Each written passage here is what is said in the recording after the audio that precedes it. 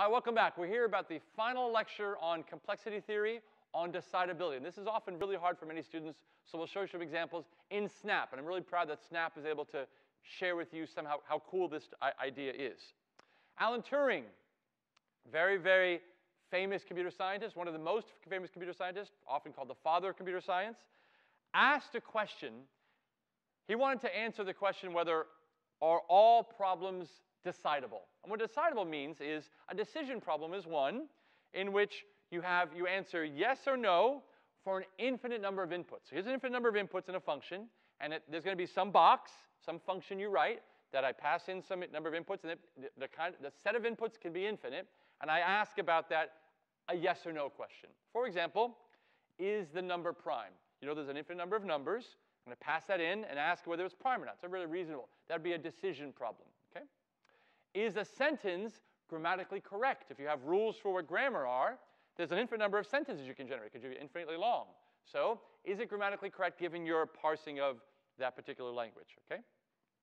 An algorithm has a solution to a decidable problem, to a decision problem, to a decision problem, if it has a yes or no answer in a finite amount of time. And what that means is it can't crash and it can't run forever. Does that make sense? In a finite amount of time, it will come up with a yes or no. Okay? That means you have a solution to this decision problem. A problem is decidable if there exists a solution. Okay? So, is prime number decidable? Yes, I can write an algorithm that won't crash, that will not go on forever, and we'll figure out whether it's prime. You can do, you know, it's a very simple prime number calculation, okay? So, prime number, question mark? Yes, that's decidable.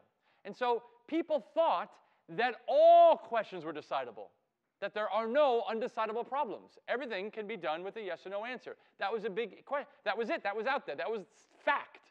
Until Alan Turing says, wait a minute. Let me tell you what he did, okay? I'm going to show you what he did. And this is hard, so stay with me, please. And feel free to rewind this video if you need more help. Okay, by the way, he's, he recently would have celebrated his 100th anniversary, uh, 100th birthday uh, two years ago, three years ago. So I'm going to review a mathematics concept you may or not have seen before, but it's called proof by contradiction, and you need it for the slide after it, which is a really meaty, brain-busting slide. We're going to talk about it. We'll have a, quite a bit of time on that.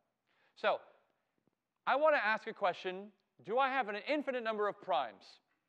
Okay, and by the way, this is Euclid who came up with this, this proof. It's a beautiful, elegant proof. Okay? Well, proof by contradiction is the following. I assume the opposite. I assume the contrary, and I prove it's impossible. Okay? So, let's do it together. And I've stepped this step of the proof right here. So, infinite number of primes. We prove by contradiction. So we assume that there's a finite number of primes okay, which I list on this. They're on the table. I've written them all down. They're on the table. They're all there. Okay. Now, I take the product of all those primes, and I add one to it. So, for example, if the primes were 2, 3, and 5, that's, let's say that's all I had. That's all I've found so far. And I think that's, that's finite. So 2 times 3 times 5 is 30, plus 1 is 31.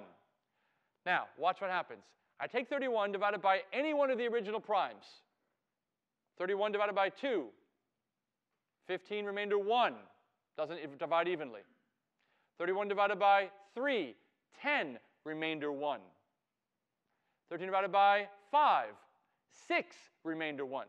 Okay? Kind of the principle of that. So, this new number does not divide evenly by any of these guys, any of the primes known so far.